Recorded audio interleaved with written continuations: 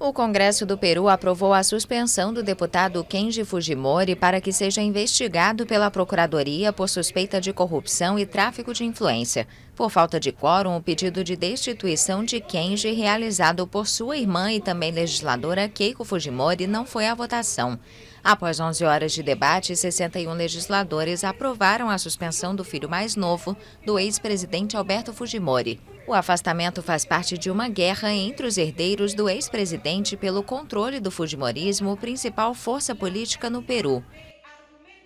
Quero dirigir-me a minha irmã Keiko e dizer-te. Quero dizer à minha irmã Keiko parabéns. Você tem a minha cabeça em uma bandeja e o que vivemos hoje foi repugnante. O processo não foi respeitado e a Constituição foi violada. Não se ha respeitado o devido processo. Se ha violado a lei, a Constituição. A disputa, apesar dos apelos do patriarca do clã, pode levar os dois irmãos a se enfrentarem nas eleições presidenciais de 2021, algo inédito no Peru.